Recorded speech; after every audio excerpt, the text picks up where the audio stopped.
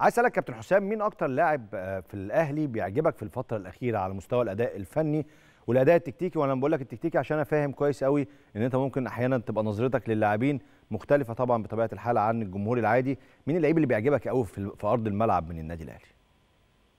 أنا طبعا يعني آه، آه، الميزة في لعيبة النادي الأهلي طبعا إن هم عندهم شيء يعني بيحافظ عليه. بيحافظ عليهم والشيء ده هو المنافسة. دايما النادي الأهلي عنده ميزة مش موجودة عند معظم الأندية.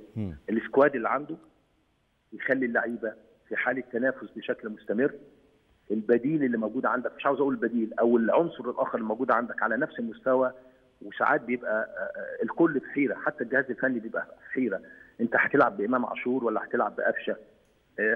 خط النص هيبقى آه، آه، بتعتمد على ثلاثة بيميلوا إلى الناحية الدفاعية ولا اثنين وواحد بيميل للناحيه الهجومية فالنادي الأهلي عنده ال squad والمرونة آه، الفنية والتكتيكية اللي أنت ممكن تختار بيها العناصر وممكن تتعامل مع المباريات المختلفة بالعناصر اللي موجودة عندك صحيح. وفي نفس الوقت لو عاوز تعمل rotation ما عندكش مشكلة مم.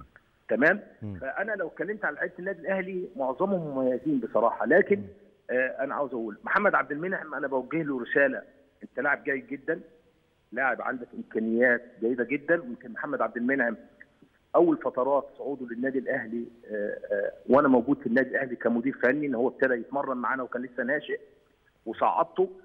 فهو لعيب عنده امكانيات وكان حتى آه، وقتها موجود في الجهاز اللي تحت أسامة حسني. هو بصراحة اللي أشار إن في لاعب جيد وشفناه فعلا صعدناه على أساس إن هو آه، آه، يبقى موجود معانا ولاعب مميز. محمد عبد المنعم لاعب مميز جدا لكن لابد من الجدية شوية في التعامل في الملعب لأنك أنت لاعب مميز ممكن تروح لحتة بعيدة جدا ممكن آه، يجي لك عقود احتراف جيدة جدا. لكن أعتقد آه، محمد عبد المنعم عاوز شيء من الجدية شوية لأنه لاعب مميز جدا جدا وعنده إمكانيات جيدة جدا فده من اللعيبة المميزين الموجودين. أنا بحيي رامي ربيعة على أدائه. أشكرك. و... آه طبعا. بحييه على أدائه رغم إن في فترات كان في آه، يعني إن- انقسام ما بين استمرار رامي ربيعة أو إن هو يمشي للنادي الأهلي. رامي ربيعة بيدي مثال آه، لنوعية لعيبة النادي الأهلي. صحيح. فعلا. صحيح. يدي مثال لنوعية لعيبة النادي الأهلي اللي بتحافظ على نفسها وقت ما بتعوزه بتلاقيه جدية في الملعب محافظ على نفسه. وشفنا المستويات في المباراة الأخيرة شيء مميز جدا. آه، محمد هاني كويس. مروان عطية لاعب جيد لكن عاوز يغير من شوية. يعني مروان في الناحية الدفاعية ممتاز لكن عاوز آه، إضافة لادائه شوية في الناحية ناحية التحضير يلعب لقدام شوية لأنه يعني دايما بيحب يلعب العرض يلعب الكرة للخلف. بس ساعات أوقات بيبقى مبالغ برغم إن بيبقى في أوقات عنده مساحات لكن لاعب جيد جدا. آه، قفشة. أتمنى طبعا آه، آه، آه، برضو إنه آه، آه، يعني هو مستواه جيد لكن لازم يحاول يخش في المنافسة أكتر لأنه لاعب جيد وأنا من نوعية اللعيبة اللي أنا بحبها جدا قفشة.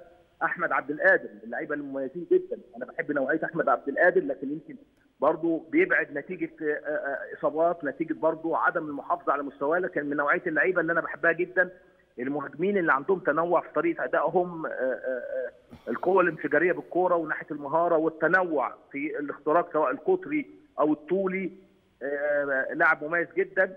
وسام أبو علي يعني لاعب جيد هيزيد اما ياخد مباريات مع المجموعة ويلعب. مم. كهرباء أتمنى برضو زيادة الناحية الفنية الناحية قصدي البدنية. صح. لأن كهرباء من اللعيبة المميزين جدا لكن أعتقد نقص أو انخفاض الناحية البدنية شوية عند كهرباء مأثرة على مستواه